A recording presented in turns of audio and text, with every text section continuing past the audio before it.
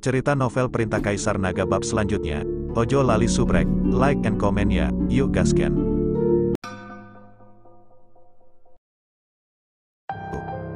Melihat penampilan menyakitkan King Long, Chen Ping tidak tahan. Orang tua, tunggu apa lagi? Pada saat ini, King Long yang menyakitkan bertanya pada lelaki tua itu. Setelah mendengar ini, lelaki tua itu perlahan memandang Chen Ping, dan kemudian seluruh orang menjadi semakin kabur, dan seluruh kekosongan mulai terdistorsi. Tiba-tiba, sejumlah besar retakan kosong muncul di sekitar, dan seluruh dunia tampak runtuh. Kekuatan isap yang sangat besar muncul dari celah-celah di kehampaan. Melihat ini, pupil Chen Ping langsung menyusut, dan wajahnya menjadi sangat jelek.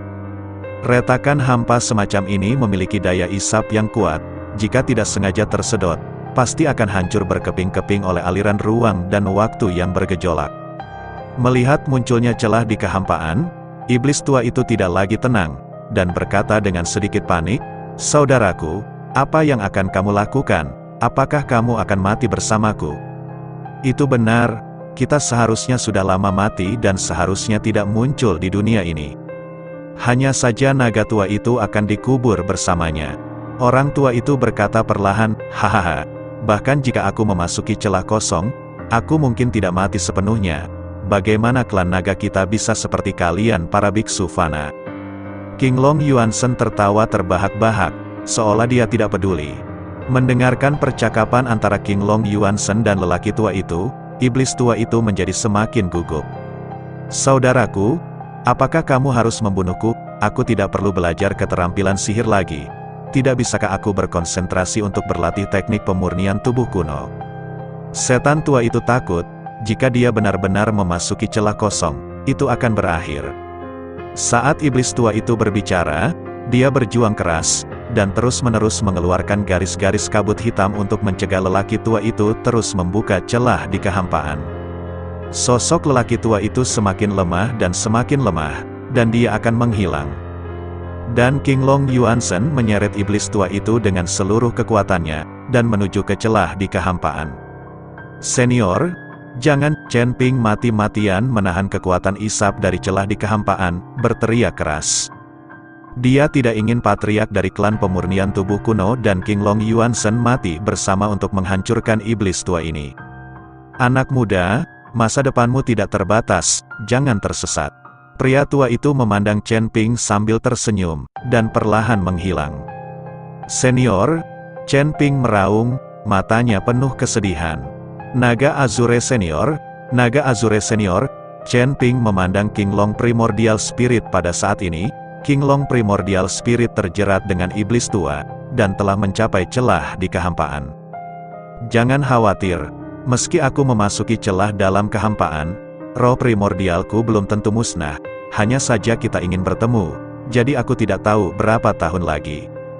Tapi aku berharap ketika aku melihatmu, klan naga akan dihidupkan kembali pada saat itu, dan kamu sudah menjadi penguasa klan naga. King Long menatap Chen Ping dan berkata, King Long Senior, aku. Chen Ping tidak tahu harus berkata apa, karena terlalu jauh baginya. Merevitalisasi klan naga, menjadi master naga, ini bukan sesuatu yang bisa dilakukan dalam satu kalimat. Pada saat terakhir, aku akan memiliki hadiah untukmu. King Long Yuansen tersenyum tipis, dan menyeret iblis tua itu langsung ke celah kosong. Ada semburan cahaya putih yang menyilaukan dari celah-celah kekosongan, dan suara sengsara iblis tua itu terdengar sangat menakutkan. Segera, dari celah kehampaan, cambuk ajaib itu jatuh dengan cepat, dan Chen Ping langsung menangkapnya. Tepat ketika Chen Ping menangkap cambuk ajaib, cahaya putih lembut jatuh dari celah kehampaan. Segera setelah itu, celah kosong perlahan tertutup. Tiba-tiba, seluruh dunia mulai bergetar, pemandangan sekitarnya berubah, dan dunia mulai runtuh. Dua dunia iblis tua dan leluhur klan pelatihan tubuh kuno runtuh saat ini. Tempat di mana Chen Ping berada adalah tempat dua dunia bergabung, jadi mereka bertindak sangat kejam. Yang lain tidak tahu sama sekali apa yang terjadi, mereka hanya tahu bahwa gunung-gunung tiba-tiba terguncang, dan situasinya tiba-tiba berubah. Chen Ping telah berada dalam ilusi, jadi Ning Kai Chen tidak melihat banyak pertempuran di dalam, dan mereka bahkan tidak tahu bahwa iblis tua telah tersingkir. Apa yang terjadi di sini? Bagaimana bisa? Dunia ini sepertinya runtuh, dan pemandangan di sekitarmu berubah dengan cepat. Mungkinkah iblis tua itu sudah mati? Semua biksu berbicara dan menyatakan kecemasan. Melihat ini, anggota lain dari Vien Surgawi lima elemen saling memandang, dan tiba-tiba tubuh mereka tersentak, dan mereka menghilang dalam sekejap. Tidak peduli siapa yang menang atau kalah, mereka semua akan lari. Bahkan jika iblis tua menang, mereka tetap tidak punya apa-apa untuk dimakan. Jinsa adalah contoh terbaik, dia dirasuki tanpa mengeluarkan suara, dan jiwanya musnah. Dan pada saat ini, dengan kematian iblis tua, ilusi juga menghilang. Chen Ping melompat dengan penuh semangat, menangkap cahaya lembut yang jatuh. Ketika Chen Ping melihat, dia menemukan bahwa itu adalah manik putih. Ice Soul Pill, Chen Ping membuka matanya lebar-lebar, penuh kejutan. Pil es ini ditelan oleh iblis tua. Pada saat itu pil esnya tidak sempurna, dan ada beberapa bintik hitam di atasnya. Tapi sekarang, pil bimpo telah menjadi murni dan tanpa cacat, memancarkan cahaya putih yang suci dan lembut. Mungkinkah ini hadiah yang disebutkan senior King Long? Chen Ping sangat gembira. Dengan pil bimpo ini, dia bisa kembali bekerja dengan putri dari Kabupaten Jialing. Menyingkirkan Ice Soul Pill, Chen Ping perlahan berjalan keluar dari kabut hitam. Semua orang melihat bahwa cahaya keemasan perlahan muncul di kabut hitam, diikuti oleh sesosok. Jadi orang menaruh hati mereka di tenggorokan mereka. Jika sosok ini adalah iblis tua, maka tak satu pun dari mereka akan selamat. Tapi segera, semua orang melihat dengan jelas bahwa orang ini adalah Chen Ping, bukan iblis tua. Kali ini, semua orang menghela nafas lega, segera, semua kabut hitam menghilang, dan tidak ada orang lain di sekitarnya. Tuan Chen, di mana iblis tua itu? Ji Yun melangkah maju dan buru-buru bertanya. Mati, sekarang dunia di sini akan runtuh, kita harus mengambil kesempatan untuk pergi. Chen Ping berkata kepada semua orang, ketika mereka mendengar bahwa iblis tua itu sudah mati dan mereka bisa pergi dari sini, mereka semua sangat gembira. Tidak ada lagi yang bertanya tentang harta karun itu. Lagi pula, hidup adalah hal yang paling penting. Semua orang mulai melarikan diri satu demi satu, ingin pergi dari sini sementara dunia benar-benar runtuh. Dunia saat ini sudah runtuh, dan ada retakan di mana-mana, mereka bisa pergi sepenuhnya. Di mana lima elemen surgawi iblis, pada saat ini, Chen Ping mengamati bahwa anggota lain dari iblis surgawi lima elemen telah menghilang tanpa jejak. Mungkin dia melarikan diri, tidak ada dari kita yang memperhatikan. Ning Kai Chen berkata, lari. Jika beberapa orang tidak melarikan diri, akan sangat sulit bagi kita untuk menghadapinya. Kata matahari tua, memang benar. Sekarang Chen Ping sudah kelelahan, akan sangat sulit untuk berurusan dengan empat lainnya dari lima elemen iblis surgawi hanya dengan mengandalkan orang lain ini. Ayo pergi, jangan tunda, Old Kong mendesak, dia takut setelah dunia ini benar-benar runtuh. Mereka semua akan terjebak di sini sampai mati. Sekelompok orang segera melompat, Ji Yun dan Gao Qisheng melindungi Chen Ping di kedua sisi. Mereka tahu bahwa Chen Ping dalam kondisi buruk dan sepertinya kelelahan. Pemandangan di depan mata semua orang terus berubah, sampai akhirnya padang salju putih muncul, dan semua orang tahu bahwa mereka telah benar-benar pergi. Setelah melarikan diri sepenuhnya, semua orang menarik napas dalam-dalam, merasa seperti masih hidup setelah bencana. Kakak Chen, terima kasih kali ini, kamu telah menyelamatkan kami beberapa kali. Jika ada kebutuhan di masa depan, tanyakan saja, kami benar-benar wajib. Sekarang mari kita ucapkan selamat tinggal, dan menyesalinya untuk sementara waktu. Lao Sun, Lao Kong dan Zuo King berkata kepada Chen Ping. Sekarang mereka telah melarikan diri. Treasure Land adalah jebakan besar, mereka tidak mendapatkan apa-apa, dan hampir mati di dalam, jadi mereka bertiga berencana untuk meninggalkan Extreme Northland. Mungkin saya tidak akan pernah berani datang lagi dalam hidup saya. Beberapa senior, Aku menyesal punya tenggat waktu. Chen Ping menangkupkan tangannya ketiganya berbalik dan pergi, dan segera sosok mereka menghilang ke padang salju yang luas. Pada saat ini, Ning Kai Chen juga memandang Chen Ping dan berkata, Adik laki-laki, tidak peduli festival apa yang kau dan aku adakan sebelumnya, tapi kali ini, aku, Ning, berutang budi padamu, dan aku akan pergi juga. Aku akan ingat. Patriak Ning mengucapkan selamat tinggal, Chen Ping mengangkat tangannya. Ning Kai Chen pergi, diikuti oleh hanya dua pelayan dari keluarga Ning. Awalnya ada lebih dari selusin orang, tetapi sekarang hanya tersisa tiga, dan bahkan putranya ada di sini.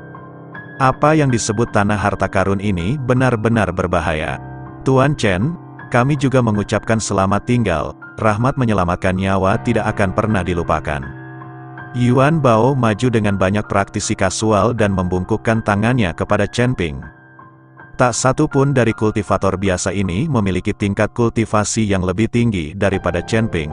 Tetapi saat ini di depan Chen Ping, mereka semua hormat. Rekan Daoi, berhati-hatilah, dan cobalah untuk pergi bersama sebanyak mungkin. Sekarang lima elemen iblis surgawi telah melarikan diri dan masalah Liga Iblis Penyegel telah terungkap. Dia pasti akan menemukan cara untuk membunuh siapa saja yang mengetahuinya. Di dalam cerita, jadi kamu akan sangat berbahaya. Chen Ping mengingatkan Yuan Bao, bagaimanapun, mereka bertiga sangat kuat, dan Ning Kai Chen, sebagai kepala keluarga Ning, juga memiliki pengaruh tertentu, tetapi Yuan Bao dan pembudidaya lepas lainnya berbeda. Kebanyakan dari mereka bertarung sendirian, dan ketika mereka menjadi sasaran Seal Demon League, mereka hanya bisa dibantai. Terima kasih, Tuan Chen, telah mengingatkan kami bahwa kami akan pergi bersama, tetapi Anda harus lebih memperhatikan, Liga Penyegelan Setan hampir ada di seluruh dunia surga dan manusia, dan mereka memiliki banyak aligners. Yuan Bao juga mengingatkan Chen Ping, di ujung utara ini, Seal of Demons tidak berani main-main.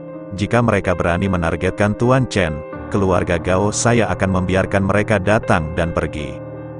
Gao Qisheng berkata dengan percaya diri, selama Feng Momeng berani menargetkan Chen Ping di ujung utara, keluarga Gao pasti tidak akan duduk diam.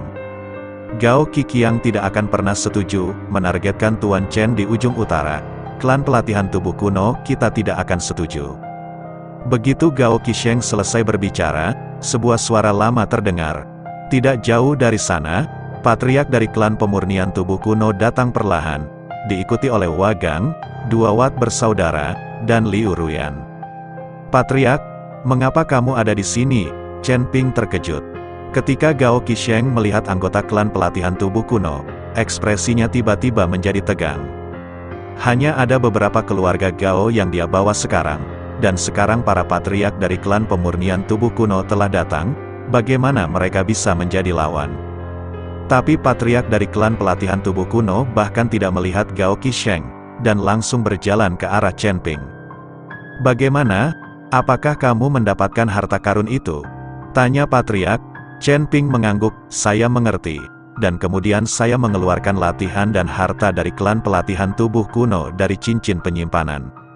Melihat ini, sang patriak begitu saja menyingkirkan semuanya. Chen Ping tidak mengatakan apa-apa, lagi pula, yang dia inginkan adalah pil bimpo, dan sekarang setelah dia mendapatkan pil bimpo, dia juga tidak menginginkan harta dari keterampilan klan pemurnian tubuh kuno ini. Apakah kamu mendapatkan apa yang kamu inginkan? Sang patriak terus bertanya. Chen Ping mengangguk lagi, mengerti. Yang lain tercengang, tidak mengerti apa yang mereka berdua bicarakan. Chen Ping, apakah kamu baik-baik saja beberapa hari ini? Liu Ruyan berlari ke depan, memeluk Chen Ping dengan erat dan bertanya. Saya baik-baik saja, Chen Ping membelai kepala Liu Ruyan. Baru beberapa hari sejak mereka berpisah, seperti tiga musim gugur di antara mereka berdua, ayo pergi. Kata sang patriak, kamu mau ke mana? Chen Ping tampak terkejut, tidak mengerti apa yang dikatakan patriak, keluarga Gao. Apakah kamu tidak ingin pergi ke rumah Gao? Sang patriak tersenyum ringan, pergi, Chen Ping mengangguk. Tapi dia sedikit terkejut. Apa yang dilakukan patriak dari klan pemurnian tubuh kuno ke keluarga Gao?